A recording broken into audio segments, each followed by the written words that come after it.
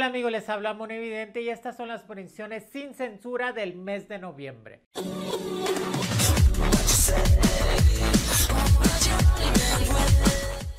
Del mes de Dios, el del mes 11, el mes cabalístico. No por nada es el 11-11. La puerta al destino, la puerta a lo espiritual, a la puerta completamente a las revelaciones divinas lo que sea en el cielo se hará en la tierra. Hay dos cartas muy importantes que van a estar dominando completamente todo el mes.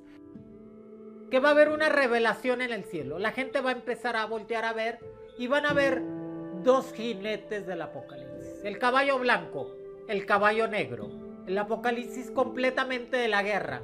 El jinete del hambre, de la hambruna. Que van a estar rondando los días 11, y 13 y 27 de noviembre. Esos días van a ser cabalísticos, que los dos jinetes van a estar sueltos. El jinete de la guerra, provocando completamente países de Asia, como la India, China, países de turbante, como árabes, como el mismo Rusia, como el mismo completamente Corea del Norte y Corea del Sur. Pero América no se queda libre.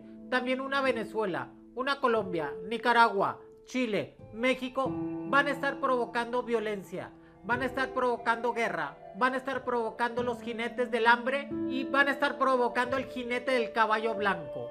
La muerte en esos países. Es un mes de revelación divina, es el mes de Dios. Pero no, no crean, Dios no te castiga. Dios es justicia total y está poniendo su orden antes que terminemos con la tierra misma, señores.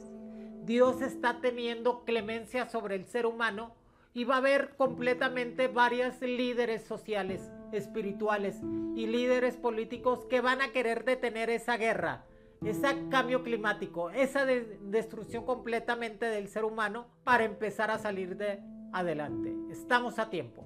Ya les dije que la revelación del fin del mundo, la revelación completamente va a ser el 11 o 13 de noviembre del año 2031. Estamos a tiempo, faltan 10 años.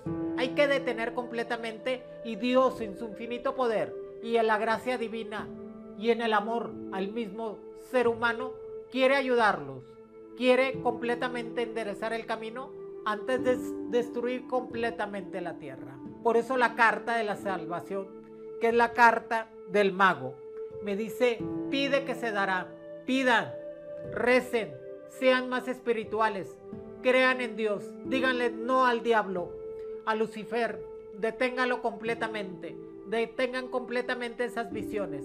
Pero ¿qué va a pasar el día 9 de noviembre en la ONU? ¿Qué va a pasar el día 13, el día 11?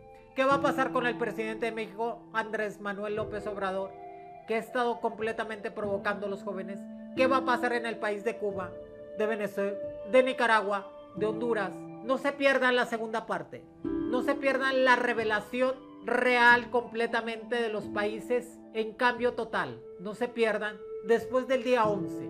El día 11 voy a subir la segunda parte de Predicciones sin Censura del mes cabalístico de Dios a las 11:11, 11, a las horas de la puerta del destino espiritual. Lo que he comentado y las visiones que he comentado se aproximan.